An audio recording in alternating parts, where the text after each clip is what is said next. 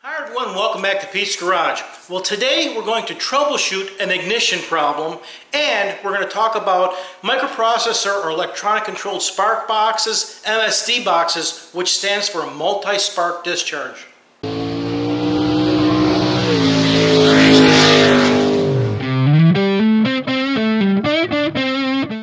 Alright, so here's the backstory.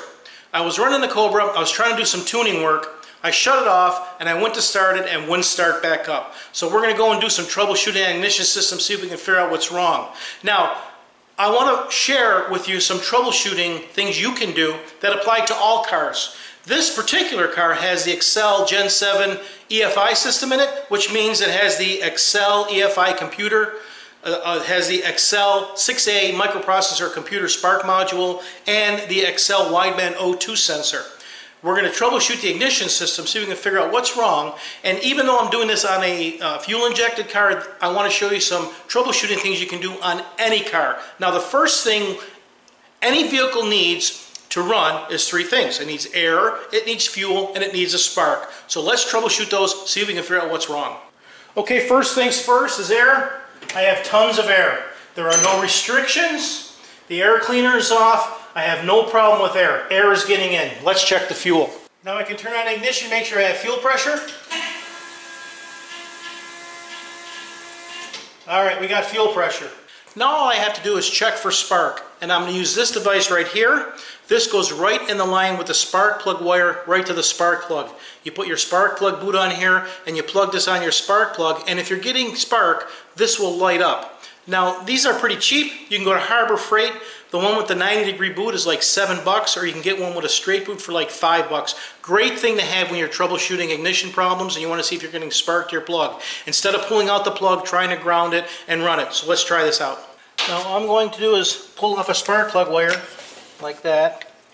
I'll plug one end into the wire and the other end back onto the plug.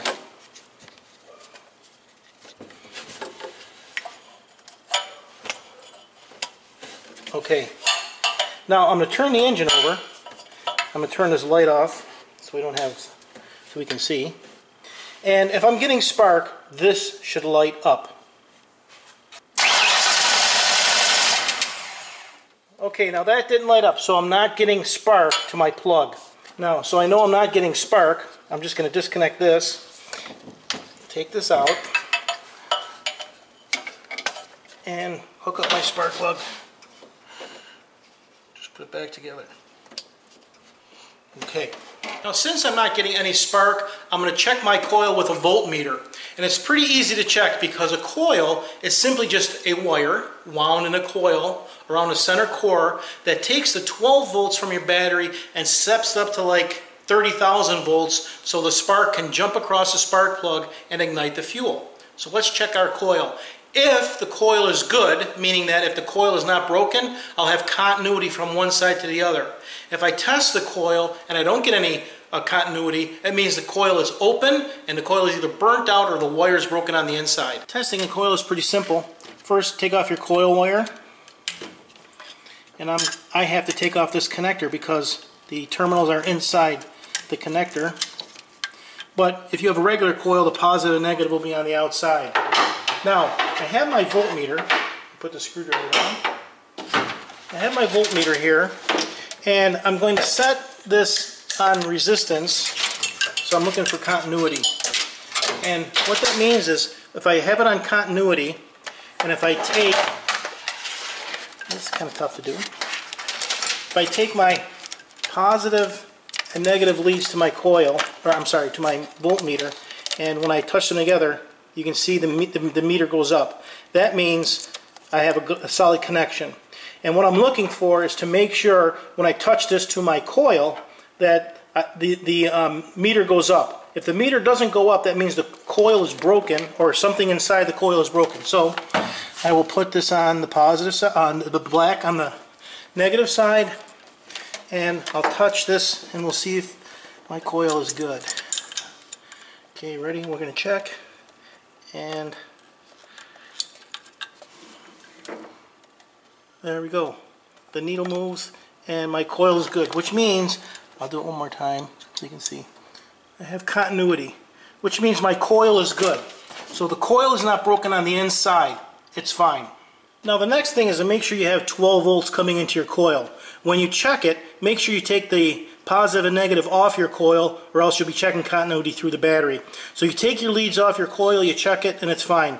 Next, take the wires coming from your battery and make sure you have 12 volts coming here. But since this is fuel injected, there won't be 12 volts coming here because it's controlled by a microprocessor. So I'm going to go and pull out the processor. I'm going to go take a look at that and see if there's an error code. I'm going to go look at that inside the uh, passenger compartment where it's mounted. Now this is going to be a pretty easy one to solve. I opened up the dashboard, I looked at, at the spark control module that was under the dash. The fuse was not blown, it's only a 10 amp fuse, but as soon as I took the dashboard off, I could smell that burnt electronic smell. So I'm going to open this up, take a quick look inside, and see if anything's wrong. Alright, so let's take this thing apart, pretty simple. Only eight screws in here. Now this is, this is an MSD box. They're all MSD boxes. And that just stands for multi-spark discharge, and we'll talk about that in a little bit.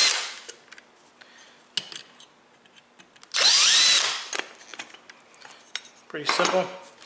This is the light LED on the end that tells you there's a trouble code, and it indicated there was a trouble code there. You got a, selector switch for how many cylinders and the mode you're using. Now, I took this out, and it's pretty simple. They're all, they're all pretty much the same. You have a wire that goes to your tachometer, you have a, a ground, and a plus that gets hooked up to the battery side. This gets hooked up to a different, uh, if you have an inductive type ignition uh, system like a, a, a, sensor on your on your uh, uh, crankshaft for rotation. You have a positive and negative that goes to the coil with a ground. And this is a switched 12 volt source. And this is a trigger. This is what the computer triggers this box with. Pretty simple. So let's finish taking it apart.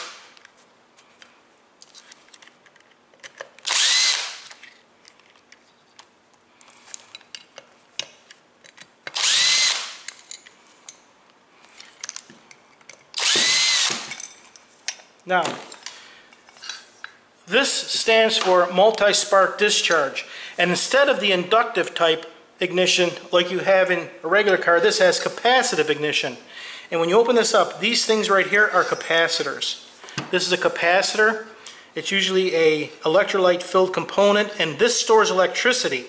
And what these do is 12 volt comes in here, fills these up with voltage, and this steps up voltage to the coil, and we'll talk about that, why this is beneficial. But we're just going to take this out and take, take a look at the bottom. And there you go. Okay, the board is all burnt up. See how it's all burnt up? Something fried in here.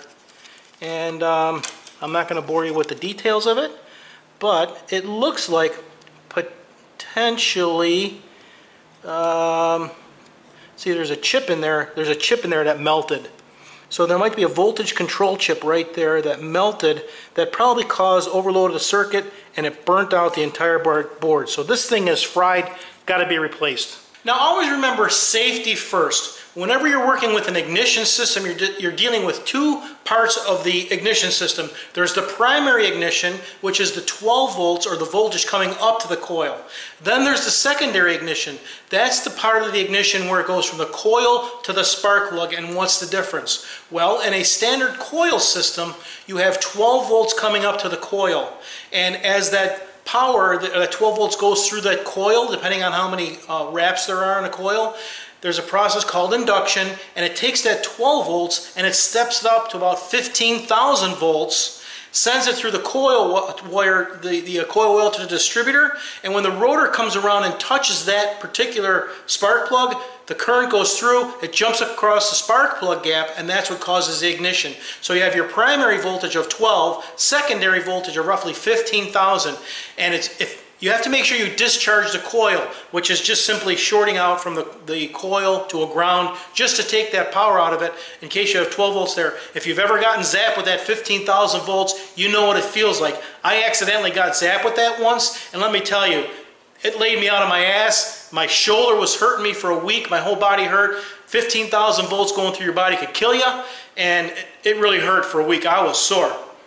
Now, that doesn't mean that this is any safer because here's the difference, and this is why you use an MSD box or multi-spark discharge box. This one, this will do a few things for you. First about the safety. When you're working with this, these are the capacitors, okay? These are capacitors in there, and they look pretty innocent, right? They're really small. But what this does, these capacitors are like mini, uh, let's call them storage cells. It takes 12 volts here, and these capacitors will take that 12 volts, store it up, and when told to release, can release up to 500 volts or over 500 volts. So right now, if I put 12 volts to this box and these were charged, and I touch that with my finger, I can get zapped with, with about uh, 500 volts. So you got to work safe. Don't play around with these things because they're dangerous. Capacitors are dangerous things to work with. Any part of ignition is dangerous. So be careful when you're working it. Safety first. Now what this does, Capacitive discharge means the power comes into these the capacitors, capacitance discharge, stores up the power, and instead of feeding 12 volts to your coil, the capacitors feed over 500 volts to your coil. It slams the current in there, and instead of having a 15,000 volt spark across your spark plug, you could have 30, 35, 40,000 volts across your spark across your spark plug. That means your spark, spark is hotter, okay? You're getting a hotter spark to ignite the fuel, okay? Not only that, the capacitive type discharge can fire up to 3,000 times for every rotation of the crankshaft. And for the 20 degrees, while the rotor is coming around and coming across your uh, rotor cap and sending spark to the spark plug, this can fire multiple times, multi-spark discharge. That's what this thing does, so it can fire many times when asked. So instead of getting one spark, you get a bunch of sparks. This is what it looks like when you have a single spark discharge, and this is what it looks like when you have a multi-spark discharge. So the benefits of an MSD or multi-spark discharge system is that at low RPM, you'll get a more consistent spark so it'll run better. And at high RPM, you don't run the risk of skipping or the coil running out of power or you don't run out of uh, uh, voltage going to the coil so it can't keep up. The capacitive discharge allows that coil to have current faster, hotter, and burn more consistent throughout the entire RPM range over, I think it's, uh, depending on your the, the, system you buy, over 3,500 RPM, it's going to switch modes. So under 3,500 RPM, it's going to give you more consistent performance. Now I'm going to be replacing that box. It was a 6A box. There are many different kinds of boxes, so you'll have to research which one is right for your application. But this is just a standard 6A, just standard replacement for any type of uh, EFI system. Let's take a look at it. All right, these boxes are pretty simple.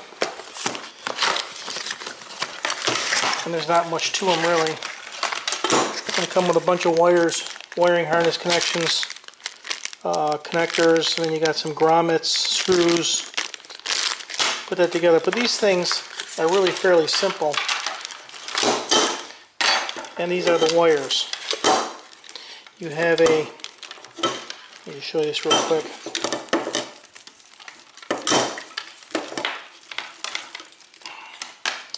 Okay, first, we'll start here.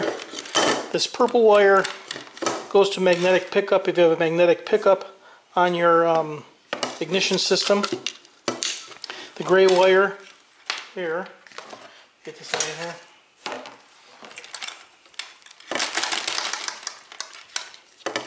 This gray wire, gray wire goes to the tachometer, tachometer for the gray wire. The white wire is a trigger. So whatever's going to trigger your box, whether it's coming from your distributor points, whatever. This is in my case. Go to this goes to the computer trigger, and we have a red wire here. This thinner red wire goes a, to the a switched ignition switched power source. The big black and red wires. This just goes to a ground. This one goes to a ground. This one goes right to the positive side of the battery. You can usually hook it to the uh, positive side of the starter relay. And then this goes to the coil. You have a red and black, goes to the coil. Pretty simple. Comes with an extension cable if you have to go to your magnetic pickup. So I'm just going to go and install this. Alright, my new spark box is installed. Let's see if it starts up.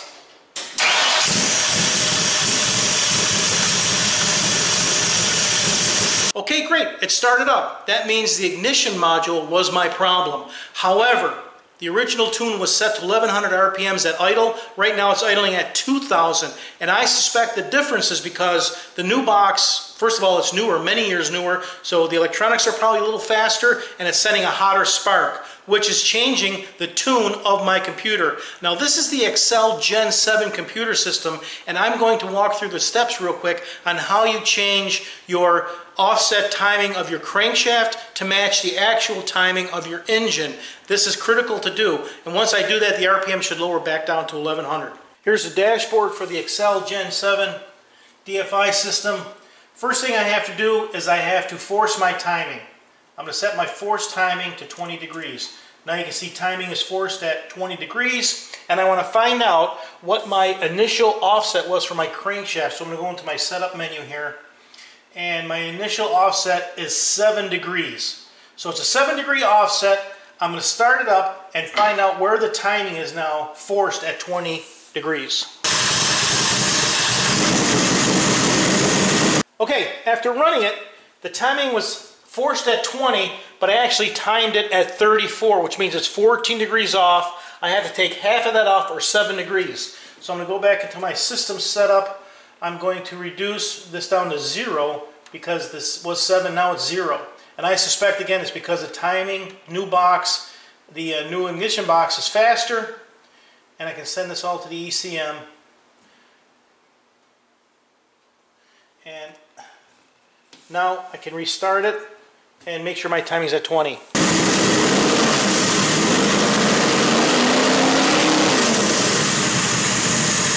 Now that my timing is set correctly and I have my crank offset at zero degrees, I know that the computer is timed. I can come in here and turn off my force timing, start it up and we'll see how it idles.